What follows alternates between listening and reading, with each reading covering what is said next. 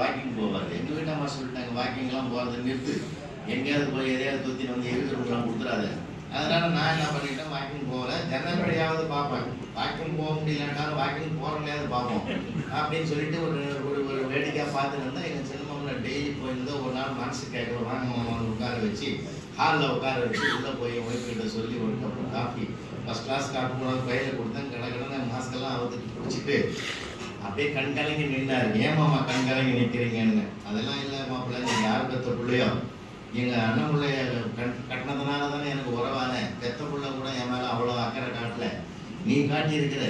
நான் ஆரோக்கியமாக இருக்கணும் நல்லா இருக்கணும் தாண்டா காலங்காத்தால கூப்பிட்டு எனக்கு கஷாயம் கொடுத்த பத்தியா வாழ்நாளே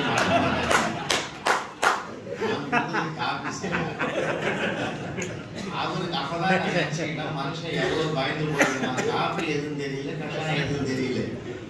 வந்து டம்ளர் எடுத்து போய் உள்ள கொடுத்தா எங்க வீட்டுல மாசை கேட்டது. மா சித்தப்பா என்ன சொன்னாரு? அதெல்லாம் இல்லாம நல்லதான் சொன்னாரு. நான் பல வருஷமா சொல்லணும்னு நினைச்சதெல்லாம் அவர் சொல்லிட்டு எதுக்காக சொல்றேன்னா சில சூழ்நிலைகள் சந்தர்ப்பங்கள் மனிதனை நெருங்குகிற போது